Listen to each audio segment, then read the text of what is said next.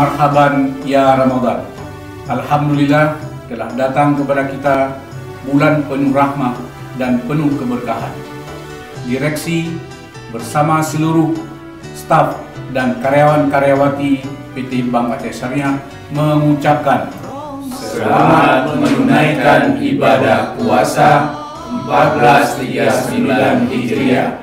Mari kita manfaatkan Ramadan ini untuk meningkatkan ibadah secara maksimal. Ramadan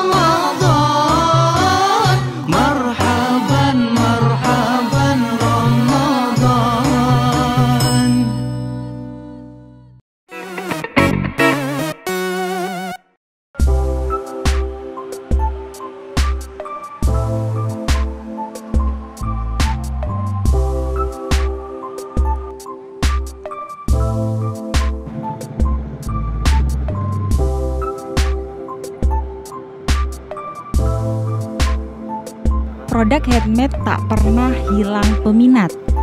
Menawarkan kekhasan dalam setiap karya, membuatnya berhasil mencuri hati konsumen.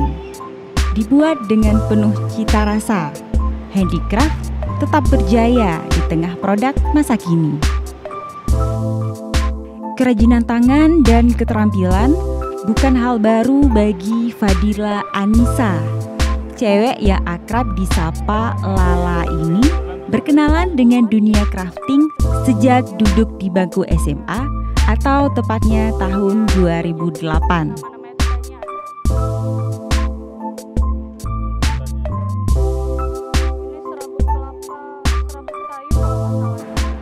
Yang pertama kali itu yang di crafting itu bahan-bahan dari kain flanel.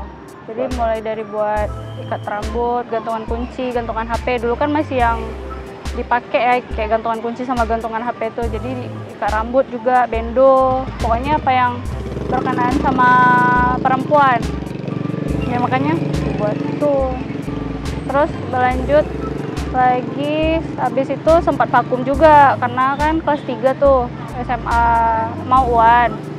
Nah, jadi pas eh, selesai itu baru aktif lagi crafting. Mulainya tuh pas kuliah. Eh, itu daur ulang kertas. Daur ulang kertas dibuat aksesoris juga kayak cincin, eh, gelang juga, kalung juga, pin-pin jilbab kayak gitu yang yang kecil-kecil lah. mulai serius menekuni ini dengan apa bikin crown seperti? Dan itu dimulai tahun 2012. itu udah mulai uh, dijual Uh, pertama awalnya buat buat sendiri dulu untuk sendiri untuk suka-suka aja. So lama-lama dijual. Udah dijual karena udah dapat udah nemu bunga yang pas yang cantik yang cocok. Terus kita jual disewain juga ada. Itu gimana pro- promosinya pertama? Promosinya pertama di langsung di uh, promosi crafting itu awalnya dari Facebook. Terus lambat lambat laun kan udah ada Instagram jadi lebih memudahkan sekarang udah ke Instagram aja masih di Instagram aja Mau beli atau sewa? Bisa.